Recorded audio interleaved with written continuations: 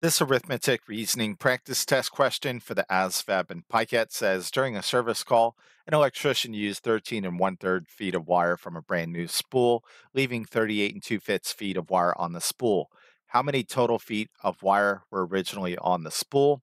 So to figure this one out, we're simply going to do 13 and one third plus uh, 38 and two fifths.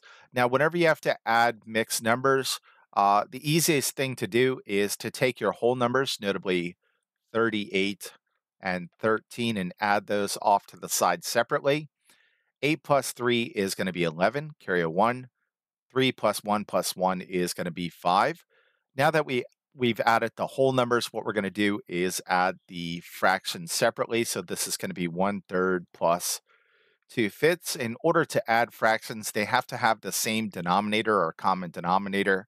Uh, 3 and 5 both go into 15, so that's going to be our common denominator.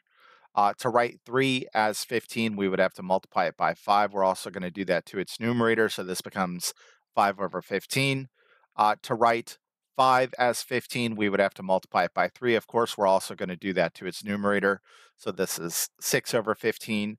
When you add fractions, you keep your denominator the same, but you add your numerator, so this becomes 5 plus 6 which is the same thing as 11 over 15.